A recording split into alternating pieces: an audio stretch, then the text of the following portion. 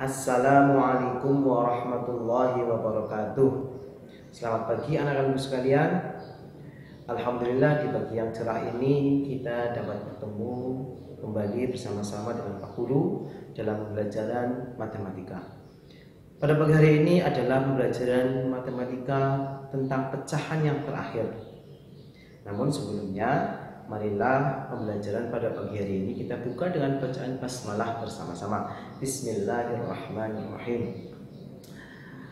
Materi pada pembelajaran kali ini yaitu tentang menaksir operasi hitung dua bilangan, perkalian dan pembagian. Namun sebelumnya seperti biasa, kalian kerjakan dulu tabel perkalian di buku modul pada halaman 70. Waktunya 5 menit dari sekarang.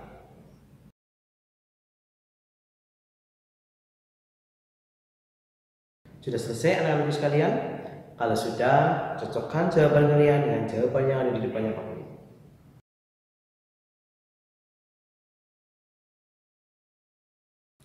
Bagaimana? Apakah kalian semua? Luar biasa. Insya Allah kalian sudah bisa. Kalian sudah setiap kali MTK kalian belajar perkalian. Baiklah anak-anak sekalian, kita mulai saja pembelajaran pada pagi hari ini yaitu menaksir hasil operasi hitung dua bilangan yaitu nanti perkalian dan pembagian. Untuk itu kalian perhatikan dengan baik-baik penjelasan dari Guru. Yuk kita mulai saja. Perhatikan dengan baik ya. Menaksir hasil perkalian dan pembagian. Khusus untuk perkalian dan pembagian, biasanya dalam soalnya itu tidak ada perintah untuk dibulatkan ke apaan. Misalkan kesatuan, kepuluhan, atau keratusan. Untuk itu, pembulatan yang dilakukan pada operasi hitung perkalian dan pembagian itu disesuaikan dengan bilangan pada soal tersebut.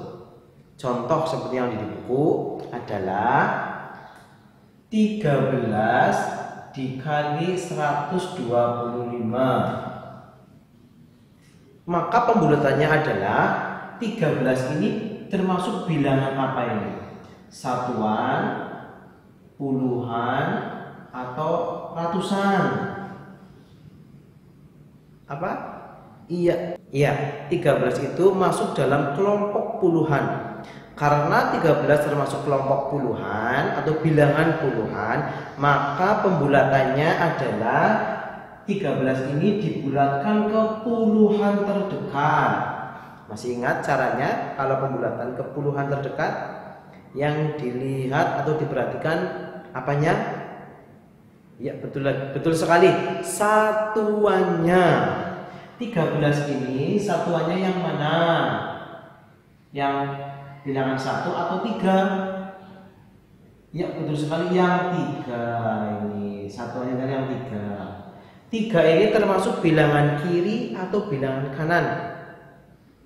Bilangan kiri betul sekali. Karena bilangan kiri berarti bilangan tiga ini, tiga ini apa berubah menjadi nol. Dan yang di depannya tetap dah atau pembulatannya yang dimasukkan ke sini. Nah berarti kira-kira 13 itu dibulatkan menjadi 10 kemudian yang selanjutnya 125 125 ini termasuk dalam bilangan atau kelompok satuan, puluhan atau ratusan. Betul sekali, ratusan. Membacanya saja kita sudah tahu 125 berarti ratusan. Berarti 125 ini kita bulatkan ke ratusan terdekat. Masih ingat kalau pembulatan ke ratusan terdekat itu yang dilihat atau diperhatikan yang mana? Satuannya, puluhannya atau ratusannya? Apanya? Puluhannya. Manakah bilangan ini yang menempati puluhan? Satu, dua, atau lima?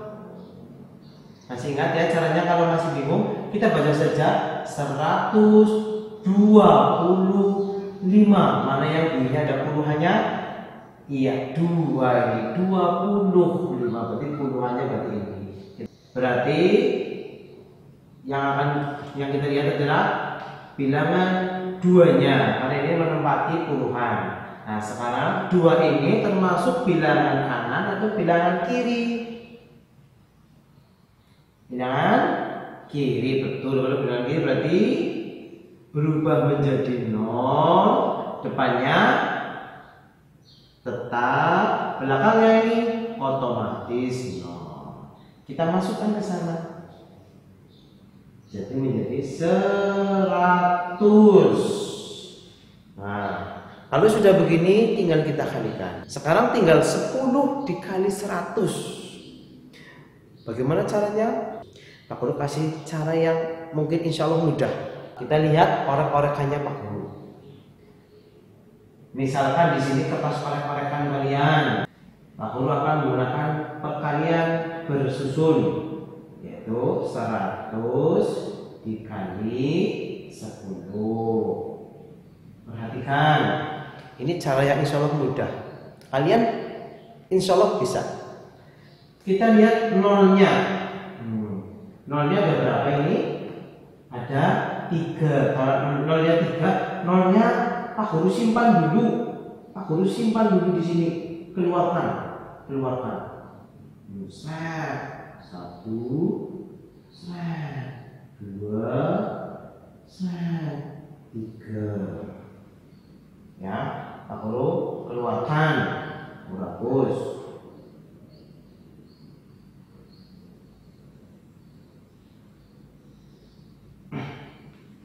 Berarti tinggal berapa kali berapa? Iya tinggal satu kali satu. Kamu kalian boleh lihat di tabel. Satu kali satu berapa satu. Kalau sudah begini lah nol yang tadi Pak Guru simpan masukkan lagi di sini. Set. Satu. Set. Dua. Set. Tiga. Karena nolnya tadi yang Pak Guru simpan tiga maka yang dimasukkan tiga lagi. Berarti hasilnya adalah seribu. Mudah bukan? Berarti 10 kali 100 adalah 1000. Hmm. Mudah bukan?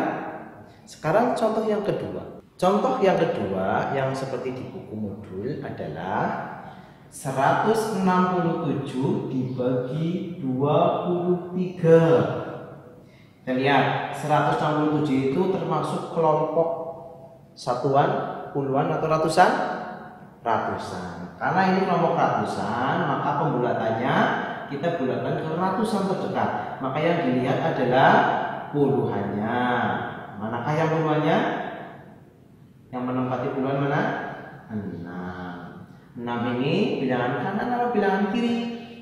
Kanan. Kalau kanan berarti berubah menjadi 0 di depan ditambah satu menjadi dua. Belakangnya otomatis nol. Tuliskan di sini.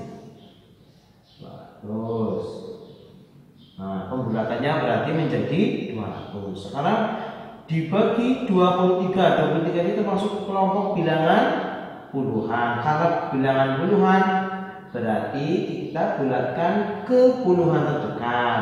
Yang dilihat adalah satuannya yang mana? Dua atau tiga? Tiga. Tiga termasuk bilangan kiri. Berarti berubah menjadi nol depannya tetap. Tuliskan di sebelah sana. Nah kalau sudah seperti ini berarti tinggal 200 dibagi 20 sekarang orek-orekannya ya. Orek-orekannya 200 dibagi 20 untuk menghitung pembagian ini banyak caranya ya. Tapi akan aku ajarkan cara yang insya Allah mudah. Ini kan 200 dibagi 20 kalian boleh begini. 20 dikali berapa supaya 200 faktor besar ini angkanya sampai ratusan. Oke Pak Guru akan mem memperkecil bilangannya caranya adalah mudah sekali. Kita hilangkan nolnya tapi harus berpasangan. Berpasangan. Yaitu ini berpasangan dengan ini. Nah, kita hilangkan.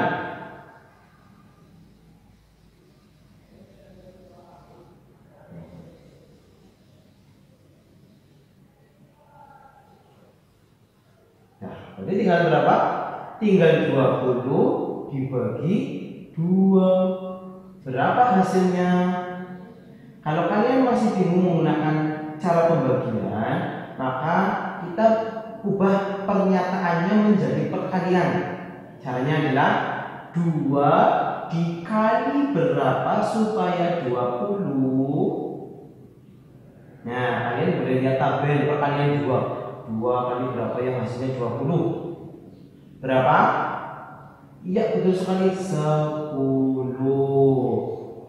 Berarti ini 20 dibagi 2 adalah 10 Atau menggunakan cara perkalian adalah 2 dikali berapa supaya 20 yaitu 2 dikali 10 Berarti ini jawabannya 10 Bagaimana? Mudah bukan? Sekarang kalian kerjakan kegiatan dua. Gunakan cara-cara seperti yang tadi Pak Guru ajarkan. Kalian boleh diulang lagi videonya caranya. Oke? Pak Guru kasih waktu 10 menit. Oke? Kerjakan mulai dari sekarang.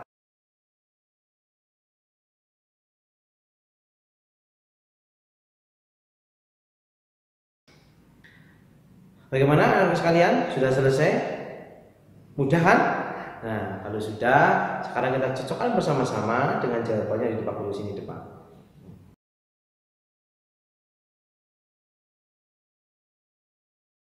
Betul semua? Alhamdulillah kalian betul semua.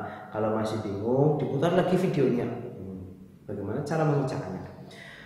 Baiklah anak sekalian, untuk selanjutnya tugas kalian di rumah adalah mengerjakan kegiatan tiga. Nanti kita akan koreksi bersama-sama setelah sholat isya akan Pak Guru kirimkan jawabannya. Kalau kalian sudah sama dengan Pak Guru, berarti kalian sudah paham. Marilah pembelajaran pada pagi hari ini kita akhiri bersama dengan doa kafaratul majlis bersama-sama. Subhanakallahumma wa bihamdika asyhadu an la ilaha illa anta astaghfiruka wa atubu ilaik. Wassalamualaikum warahmatullahi wabarakatuh. Maju terus min satu